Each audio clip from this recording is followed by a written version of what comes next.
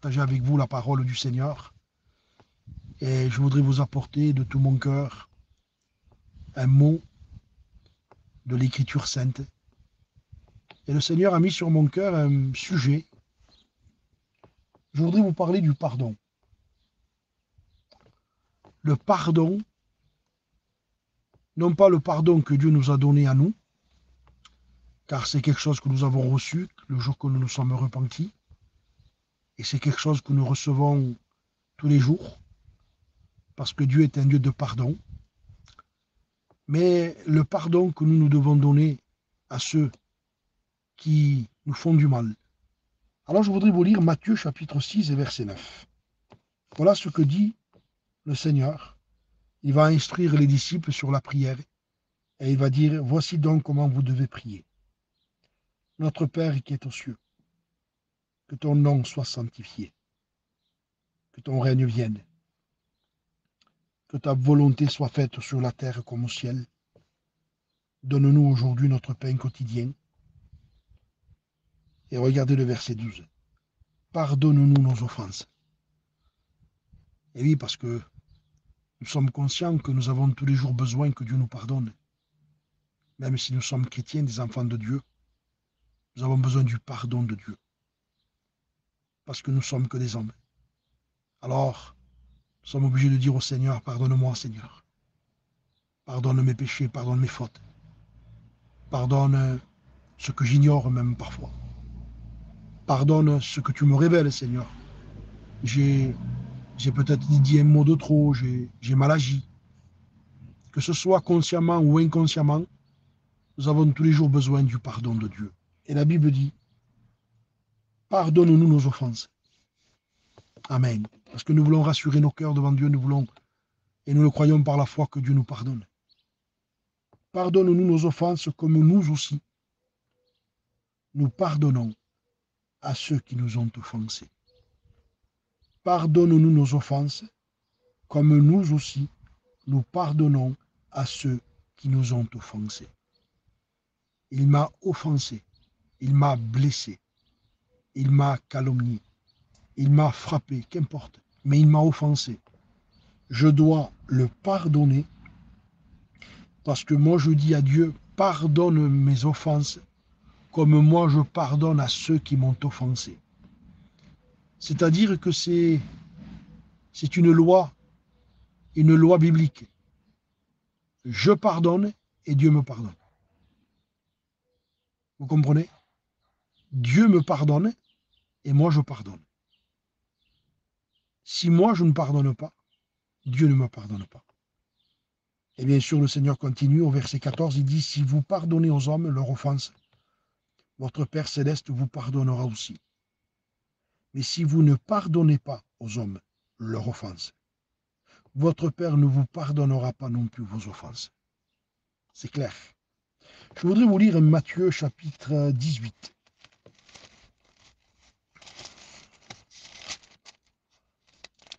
Matthieu 18.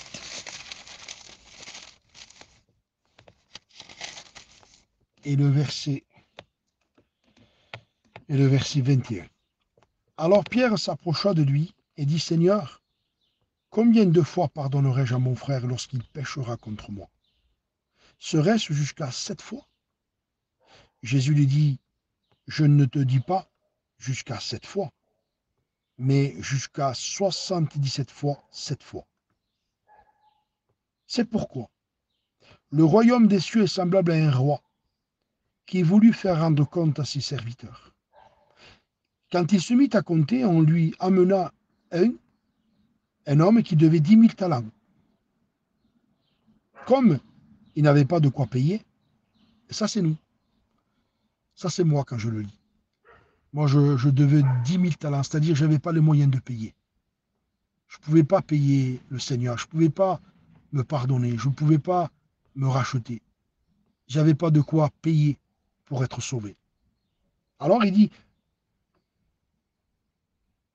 alors je reprends le verset, comme il n'avait pas de quoi payer, son maître ordonna qu'il soit vendu, lui et sa famille, afin que la dette soit acquittée. Le serviteur se jetant à terre, ça c'est moi encore.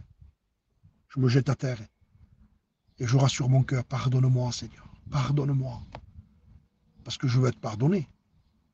Parce que si j'ai péché contre Dieu, si j'ai fait quelque chose qu'il ne faut pas, que je ne me repens pas et que par exemple, aujourd'hui je quitte la terre, je sais que si dans mon cœur, il y a un péché dans ma vie et que je ne me suis pas repenti, je peux être perdu. Alors je ne veux pas être perdu, je ne veux pas aller en enfer. Alors je me repens. Il y a, déjà, il y a déjà ça, mais aussi, il y a aussi que j'aime le Seigneur. Et comme j'aime le Seigneur et que j'ai péché, dont je me sens triste et malheureux, alors j'ai besoin de me repentir. Parce que la communion a été interrompue et je veux que la communion à nouveau revienne. Et le seul moyen pour que la communion revienne, je dois demander pardon à mon Dieu. Alors, le serviteur se jetant à terre, se prosterna et dit Seigneur, aie patience envers moi, je te péris tout. Seigneur, aie patience, pardonne-moi. Ému de compassion, le maître de ce serviteur le laissa aller et lui remit la dette. Quel amour. Seigneur dit C'est bon, tout ce que tu me dois, ta dette, je t'en fais cadeau. Je te fais grâce. Je te pardonne. On n'en parle plus. Quel soulagement, quelle joie pour cet homme. Quelle joie pour nous quand on est venu à Jésus et qu'on lui a demandé pardon pour tous nos péchés. Dans notre vie que nous avions auparavant, dans le monde, il nous a pardonné. Quelle grâce. Alors cet homme, sa dette est remise, Dieu lui a fait grâce et Dieu l'a pardonné. Après qu'il fut sorti, verset 28, ce serviteur rencontra un de ses amis et un de ses compagnons, qui lui devait 100 deniers. C'est-à-dire, c'était vraiment minime et petit à comparer ce que lui devait au roi. Lui, il devait 10 000 talents au roi. Et son compagnon, il devait, lui devait que 100 deniers. C'était rien. C'est-à-dire que ça fait comprendre que le mal que quiconque a pu me faire, on m'a fait du mal. On m'a fait beaucoup de mal. Mais c'est rien à comparer le mal que moi j'ai fait à Dieu. C'est beaucoup plus grave le mal que moi j'ai fait à Dieu que ce que les gens peuvent me faire. Même si les gens m'ont fait beaucoup, beaucoup, beaucoup de mal, c'est sans denier. Mais moi, c'est 10 000 deniers, c'est 10 000 talents, c'est incalculable le mal que j'ai fait à Dieu. Je suis un pécheur, je suis né dans le péché, j'ai offensé Dieu. Et malgré que je devais une fortune colossale au roi des rois, il m'a pardonné. Et il y, a, des gens parfois qui peuvent vous faire du mal, mais c'est minime. C'est sans denier. Alors il dit, regardez ce que dit cet homme. Il saisit son compagnon, il étrangla. Donc vous voyez, on sent de la dureté, on sent de la méchanceté, il n'y a pas de compassion, il n'y a pas de douceur. Non, non, il le prend, il étrangle et il lui dit, paie-moi ce que tu me dois. Paye ce que tu me dois. Tu me dois 100 deniers. Paye-moi. Son compagnon, se jetant à terre, le supplia et lui dit Aie patience envers moi. Je vais tout faire pour te payer. C'est-à-dire, voilà comment on l'image Pardonne-moi, frère. Pardon, je t'ai fait du mal, frère. Non, non. Pardon, frère. Vous voyez, non, et non, et puis non, et puis. Et puis non, il ne veut rien savoir. Mais l'autre ne voulut pas. Il alla le jeter en prison, lui, sa famille, hein, jusqu'à que la dette soit acquittée, payée. Ses compagnons ayant vu ce qui était arrivé. C'est-à-dire que Dieu voit tout. Pour moi, les compagnons, c'est des anges. Ses compagnons, euh, ayant vu ce qui était arrivé, furent profondément attristés et allèrent le raconter à leur roi, leur maître, tout ce qui s'était passé. Alors le maître fit appeler ce serviteur et lui dit, Méchant serviteur, je t'avais remis en entier ta dette, parce que tu m'en avais supplié. Le Seigneur est en train de nous rappeler, rappelle-toi quand tu es venu à moi, quand tu t'es humilié, quand tu m'as demandé pardon pour ta vie de péché, je t'ai pardonné. Et ne devais-tu pas aussi avoir pitié de ton compagnon? Ne devais-tu pas avoir, pitié de ton frère, de ta sœur? Ne devais-tu pas avoir de la pitié dans ton cœur, de l'amour? Comme moi, j'ai eu de la pitié pour toi. Moi, j'ai eu de la pitié pour toi, dit le Seigneur. Et toi, tu n'as pas de pitié pour tes compagnons, pour tes frères. Alors son maître irrité le livra au bourreau jusqu'à ce qu'il ait payé tout ce qu'il devait.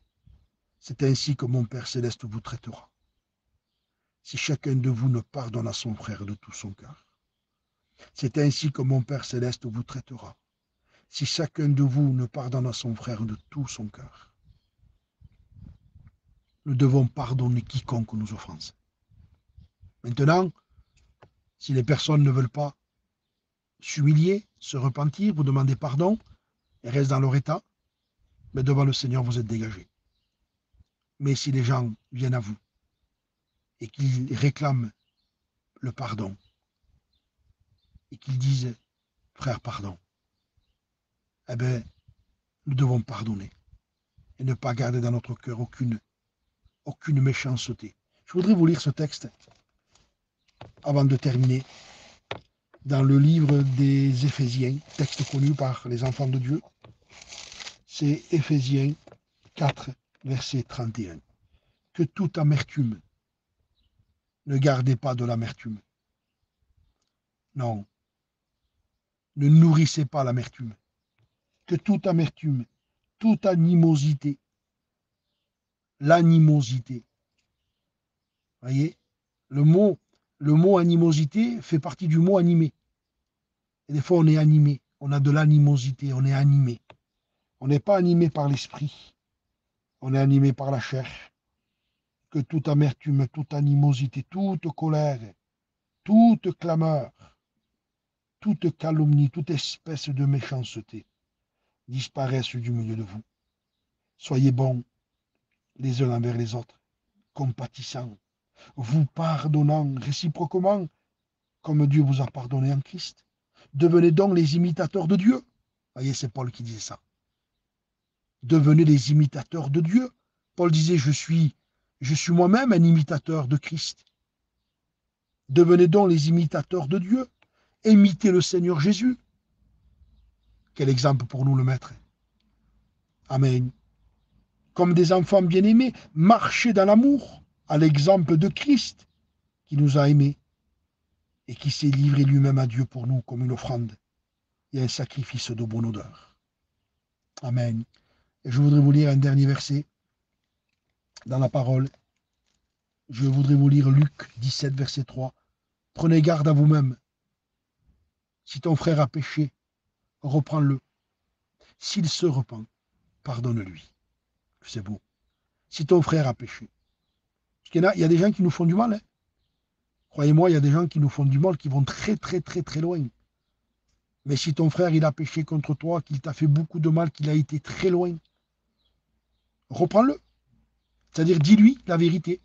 Regarde, frère, il y a eu ça, tu m'as fait ça, tu as fait ça, tu as fait ça.